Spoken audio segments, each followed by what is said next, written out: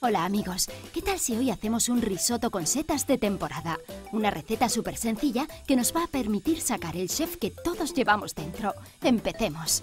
Necesitamos cebolla, ajo, zanahoria, puerro, apio, vino blanco, agua, aceite de oliva, mantequilla, sal, tomillo, queso parmesano fresco rallado, queso mascarpone, aceite de trufa, setas de temporada y arroz.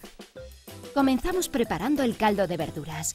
Ponemos en una olla media cebolla limpia, un puerro, dos zanahorias, dos ramas de apio, un litro y medio de agua, sal y cocemos durante 20 minutos. Cuando esté listo, lo colamos y lo reservamos.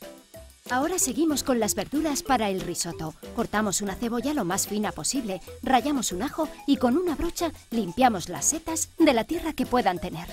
También podemos usar setas congeladas, pero yo recomiendo setas frescas que van a dar mejor sabor al arroz. A continuación, ponemos la olla en el fuego con una mezcla de aceite y mantequilla con la que vamos a conseguir una cremosidad perfecta. Una vez derretida, pondremos la cebolla y el ajo. Cuando esté pochada, es el momento de agregar las setas. Rehogamos y echamos el arroz. Calculad 100 gramos por persona.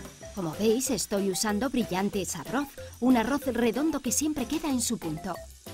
Mezclamos bien, ponemos el fuego medio alto y echamos el vino blanco. A partir de ahora contamos 18 minutos, removemos y dejamos reducir el vino. Después iremos agregando poco a poco caldo caliente sin dejar de remover, así el arroz va soltando almidón. Lo bueno de este arroz es que es más resistente, por eso el grano no se rompe y el plato queda con una textura cremosa. Cuando pase el tiempo, pondremos un poco de queso parmesano y queso mascarpone que nos dará cremosidad. También añadimos un chorreoncito pequeño de aceite de trufa. Mezclamos bien y ya está.